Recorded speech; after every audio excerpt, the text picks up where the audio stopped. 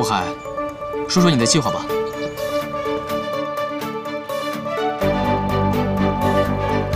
一年来，刘英杰完全无心经营公司，公司的业绩每况愈下，股价也连续下挫。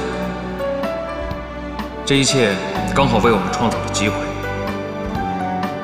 接下来由莫南牵头，我们大家分头以多家小公司名义，在二级市场上大量收购花家股份。莫南负责控制节奏，尽量不要引人注目。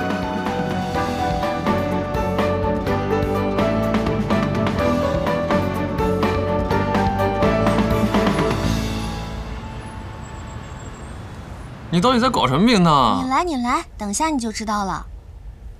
啊，好到了没？啊，到了。一、二、三。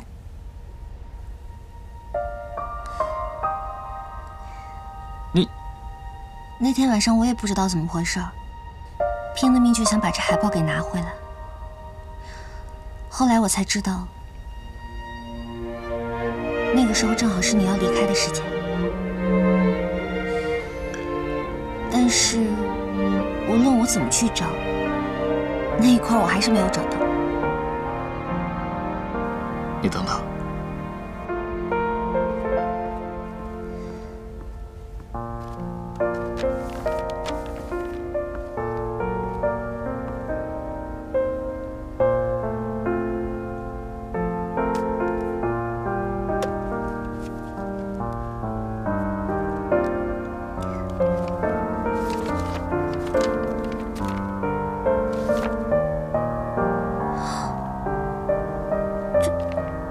这块怎么会在你这儿？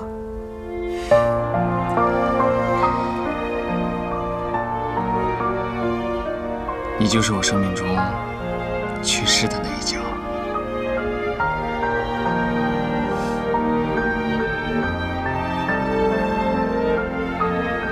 今年的玫瑰开得格外好，龙沙宝石竟然足足开了三个月。大家说，这可能是为了庆祝我升职。我现在已经是总监了，你也该替我高兴吧？总监？看来我不在的时候，他们对升职这件事儿也开始放水了。什么放水啊？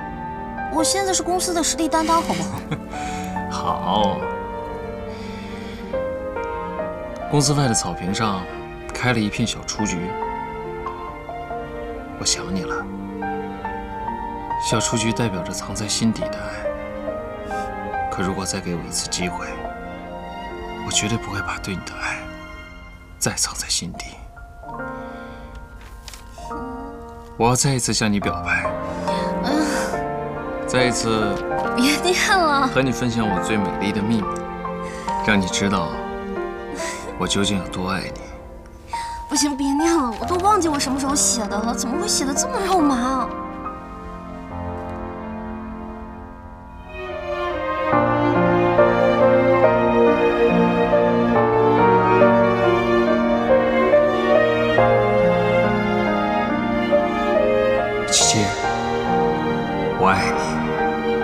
不光是因为你的样子，还因为和你在一起时我的样子。我爱你，不光因为你为我做的事，还因为为了你，我能做成的事。